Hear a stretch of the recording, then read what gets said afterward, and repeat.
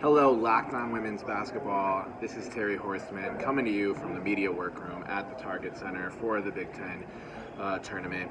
Uh, big story here. Uh, just got through the exciting first half between Iowa and Purdue. Uh, Caitlin Clark held to seven points uh, with none coming in the second quarter.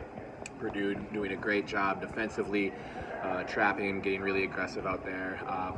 Clark visibly frustrated, got teed up uh, towards the end of the end of the half, and uh, Iowa clinging to a four-point lead. So we'll see how uh, the Hawkeyes adjust in the second half.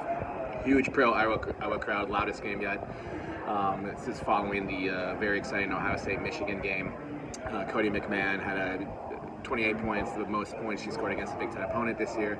Uh, so Ohio State will move on to face Indiana. And yeah, got a great second half of Iowa Purdue and a lot more fun to come. So, you know, follow everything we're doing at the next and Locked On Women's Basketball. Thanks.